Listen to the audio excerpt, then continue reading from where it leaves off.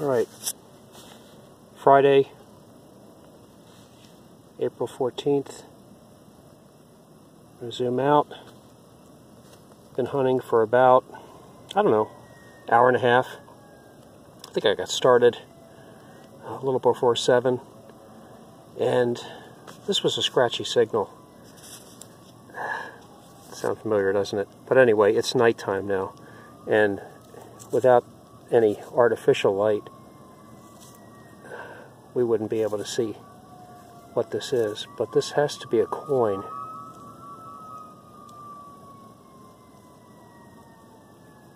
It's the first night movie I've made. Looks pretty slick, doesn't it? But Well, I don't know, guys. I'm real happy that I got this copper. It's just looks too thin to be uh, be a large cent. Let me wipe it on my pants a little bit and uh, see if we can't get.